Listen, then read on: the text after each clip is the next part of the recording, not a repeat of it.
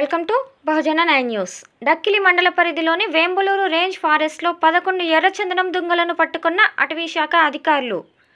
తిరుపతి జిల్లా డక్కిలి మండలంలోని వెలిగొండ అడవిలో భారీగా ఎర్రచందనం స్మగ్లింగ్ జరుగుతుందని కోడూరు టాస్క్ ఫోర్స్ అధికారులకు తెలిసిన విషయం కూడా డక్కిలి ఫారెస్ట్ అధికారులకు తెలియలేదంటే ఫారెస్ట్ ఆఫీసర్లు ఎంత బాగా ప్రభుత్వ సంపాదన కాపాడుతున్నారో ఇట్టే అర్థమవుతోంది.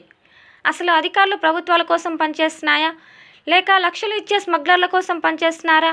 ఎంతో నైపుణ్యం కలిగిన అధికారులకు ఫారెస్ట్లో ఏం జరుగుతుందో తెలియలేదంటే ఇంతకంటే దారుణమైన పరిస్థితి ఉందా? ప్రభుత్వాలు ఎర్రచందనం స్మగ్లింగ్ విషయంలో ఎన్ని చర్యలు తీసుకున్నా రెడ్ షాండిల్ దందాను ఆపలేకపోతున్నారంటే ఎంత మొత్తానికి అధికారులు అమ్ముడుపోతున్నారో అర్థమవుతోంది. వివరాల్లోకి వెళ్తే డక్కిలి మండలం వేంబులూరు ఫారెస్ట్ రేంజ్ పరిధిలో వెల్లంపల్లి దగ్గరలో ఉన్న అడవిలో ఎర్రచందనం స్మగ్లింగ్ జరుగుతుందన్న పక్కా సమాచారంతో రైడ్ చేశారు.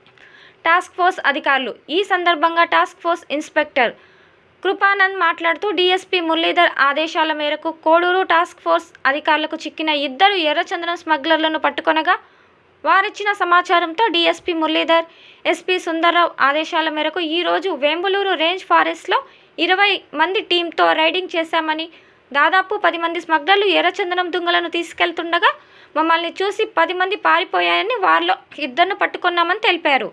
వారి నుంచి పదకొండు దుంగలను స్వాధీనం చేసుకున్నామని తెలిపారు. దీనిలో Koduru task force inspector Kripanand Dakkili north zone officer Suryanarayana south zone DR O Ramanaiah మొదలగు వారు పాల్గొన్నారు.